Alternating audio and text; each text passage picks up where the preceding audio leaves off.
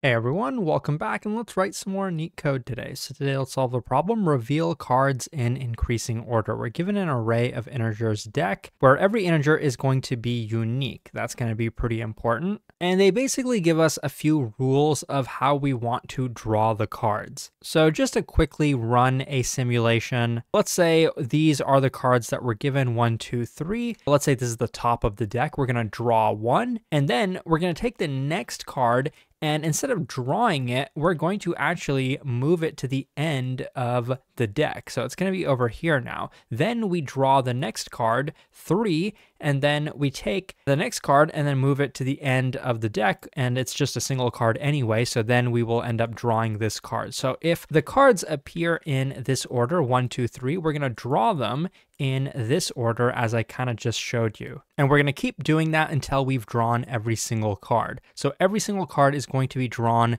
exactly once. And we're given a deck of cards in no particular order. So take this for example, 17 and a bunch of other cards here. So if we draw them in the order that they're given, the output is going to look something like this 17, uh, skip that, 11, and then skip the 2, then we get 3. And I could continue like this, but I won't just to save you time. Now, the problem with this is that we actually want to rearrange the cards so that in the order that they get drawn is always going to be in increasing order. So which way can we rearrange these cards so that they are drawn in this order, basically sorted order like this. This is how we want to draw the cards, like this order. So how can we accomplish that given these rules for drawing the deck? As you can imagine, sorting is probably going to help us. So at the very least, we know that if we take the input and sort it, this is the target that we are looking for. But the solution to the problem is definitely different. So let's take a look at the solution and try to study it. So if we were to rearrange the cards in this order, then we would get our result. And let me just quickly walk you through why. So first we draw two, okay? Then we skip 13, we move it over there. I'm not gonna draw that out, but we're gonna leave this here for now. So then we're gonna draw 13. So I guess I'll just mark a number next to each. So this is gonna go first, this is gonna go second, skip this, and then draw this third, skip this, then draw this fourth. Now, since each of these three cards that we have not drawn yet are going to be pushed to the end each time, the relative order of these is actually going to stay the same. So Let's just go through them from left to right now. Since this is the last card that we drew, we now have to skip this card. So we skip it and then we draw this card fifth and then we get to this card. Now we skip it and then we go back here and we draw this one is the sixth card. And then lastly, we go to this card, we skip it, and then we come back to it because it's the only card that's left, and we draw this one seventh. If you take a look at the order that we drew the cards, you can see it is definitely in increasing order. And since every value is unique, there's always going to guarantee to be at least one result. And there's actually just going to be exactly one result. So this is the result for this example that we are looking at. Now, why does this work? Let's think about how we can solve this problem. So the first part of this is actually pretty simple. The first pass, I mean, because if you take a look, we know for sure we're given seven cards. So we're trying to figure out which card goes in each of those seven slots, right? Like we're trying to build the output. Assume we didn't know that we had this. Like this is the result, but assume we don't know that yet. So we're trying to figure out what's going to go in all of these spots. Assuming we have the input and we sort it, we know for sure that the first value in sorted order should probably go at the beginning of the array. Now, we don't know what's going to go in the second spot, but we don't care because we're going to skip that value, right? So we skip that, and then what do we want to go here? Well, probably the next value in sorted order. Okay, great. And then looking at this value, we skip it as well. What do we want to go here? The next value in sorted order. So, so far we've added two, we've added three, we've added five. So the first phase of this is pretty simple. We keep doing this until we reach the end. We add seven over here. Okay, great. Now is when you start to think, well, okay, there's multiple ways we could think about this problem. We took like half of the elements and then put them there. Now what should we do? Should we take half of these elements and then put them here as well? Like what's the rule? What kind of simulation or what kind of algorithm can we run that will guarantee that we get the correct result? Let's not even focus on the runtime for now. Like we kind of did with like the simulation, we know that these three values, like these three slots, the relative order of them is going to be consistent. We also know that there's three values in sorted order left for us to place. Now, what should we do? Should we do something really naive and just put the 11 here, put the 13 over there, and then put the 17 over here? No, because remember, just because we've drawn them this way doesn't mean that's exactly how they're going to be like drawn from the deck because we're going to skip some of the cards and then draw some of the others. So like the fact that it's odd or even is kind of relevant to the problem, but we don't have to account for that. We don't have to pay too much attention to whether we were given an odd or even number of values because we are just going to kind of continue with the simulation here.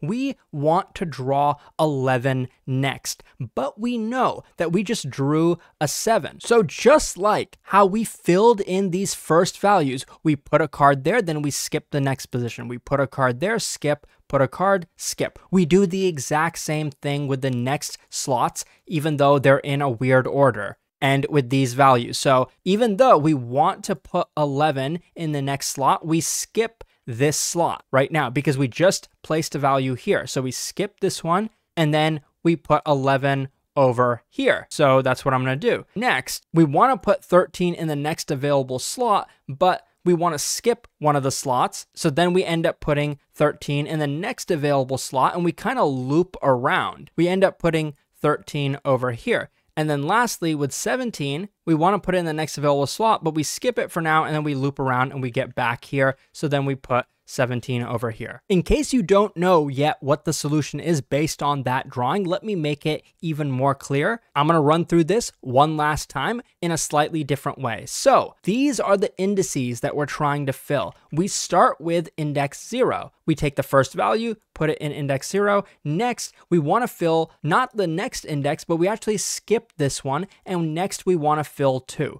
But we will fill one eventually, but it's going to go after all of these. So you can imagine that the indices are kind of like a queue. We go from left to right, but we skip every single one and then place it to the other side. Even though in the context of the problem, they said we draw a card and then take the next card and then move it to the end, which is what we're trying to build, we're kind of doing the reverse of that. Instead of taking the card and putting it at the end, we're taking the index and putting it at the end. So skip this, and then put three over here. Skip three and then put seven over here. Skip five and put 11 over here. So now we just need to fill these three indices in. So imagine this was a big queue. We popped these from the queue, but these three are left and the order of them has not changed at all. So now we pop from the queue. Since we just filled six in, we skip one. Then the next one we pop from the queue is three. And so the value is gonna go here. And next we get five, but we skip it. So then we're at index one and we put 13 over here. Next we pop index five, we skip it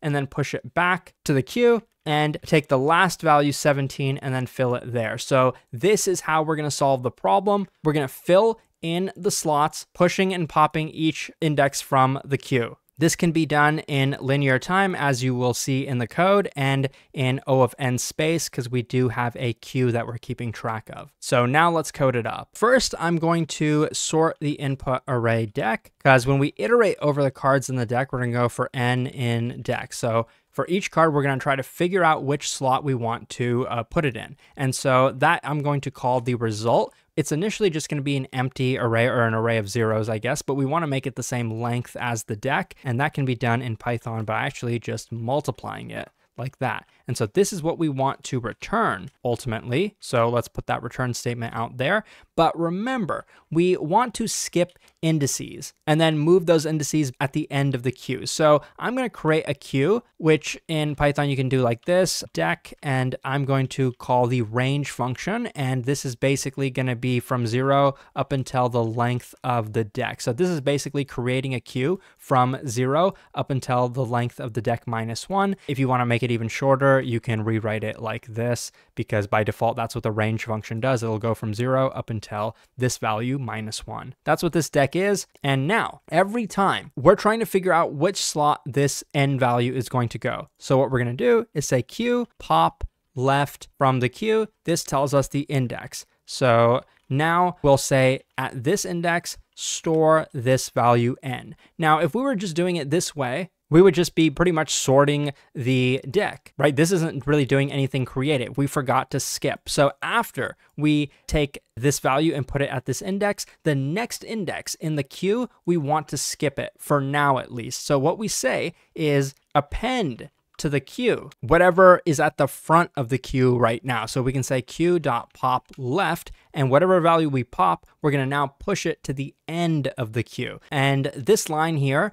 may not be possible to execute. What if there's nothing left in the queue? So before we, whoops, before we do this, let's make sure that the queue is non-empty, and then we can execute this part. So I know this code is actually really, really simple, though I will admit it's not easy to come up with. Let's just quickly run it to make sure that it works. You can see it does, it's pretty efficient, but don't let this fool you. The reason I was able to honestly solve it so easily is if you look here at the fine print, four years ago, I actually solved this problem for the first time. So that definitely does help. But if you're preparing for coding interviews, check out neetcode.io. Thanks for watching, and I'll see you soon.